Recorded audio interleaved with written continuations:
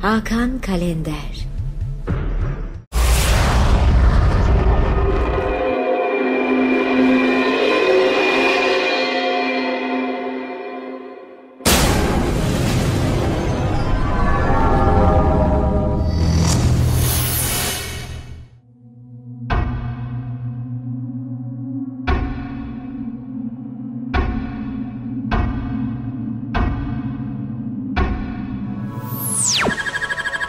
Milattan sonra 627.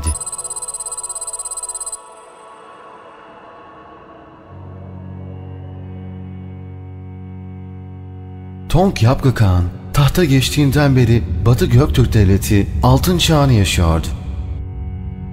Hiçbir Yapgu toprakları bu kadar genişletememişti. Bir sonraki hedefse yine belliydi. Sasanileri hükmü altına alacaktı. Tonk Yapgu, Sasanilere bir elçi yollayıp savaşmadan teslim olmalarını öneren bir mektup yazıp yollatır.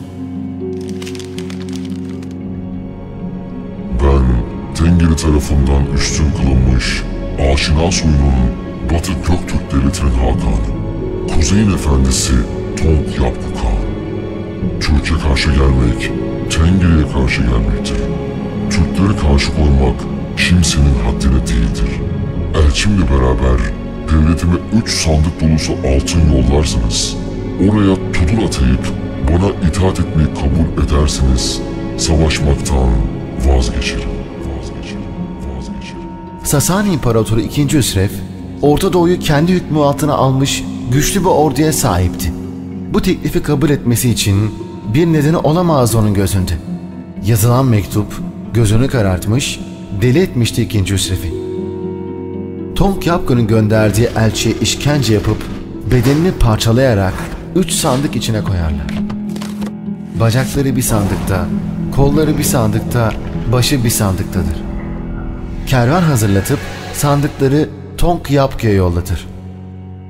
Günlerce, haftalarca yol aldıktan sonra kervan Tonk Yapgı'ya ulaşır. Sasanilerin savaştan vazgeçip altın dolusu sandıkların geldiğini sanırlar. Sandıkları açtığında ise gönderdiği elçinin parçalanmış cesedini bulurlar. Evren yaratıldığından beri kimse Türk'te bu kadar eğlenmemişti. Bu kadar, eğlenmemişti.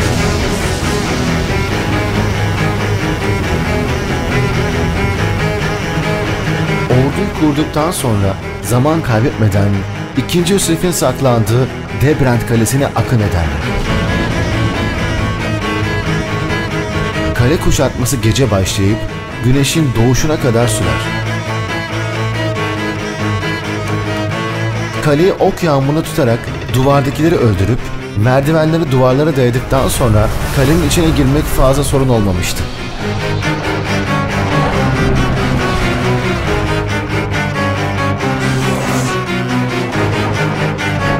Tonk Yapgun'un içine erliğin ruhu girmiş gibiydi.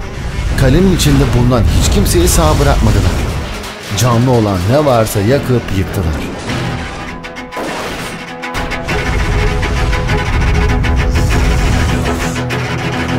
Moses Kaan Katvassi'nin 10. yüzyılda yazdığı The History of the Country of Albania kitabında Derbent Kalesi'nin kuşatmasını şöyle dile getirir. Türkler denizdeki dalgalar gibi bir anda kariyere girdiler ve önlerine çıkan her şeyi yok ettiler. Şehirde terör estiren saldırganlar çirkin, gözleri çekik ve kapaksızdı. Önce şehre doğru okçuların okları yağdı. Sonra ise şehrin cadde ve sokaklarında önlerine çıkan her şeyi vahşi bir kurt gibi katlettiler. Hatta katledilen annelerine sarılan çocuklara bile acımadılar.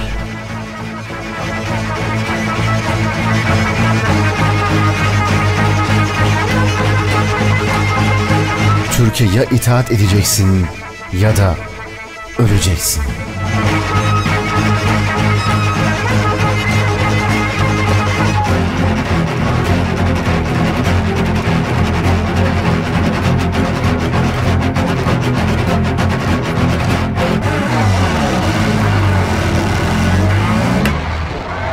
Yazan Cafer Oruç Seslendirmenler Umut Hocaoğlu, あかんかなんだよ。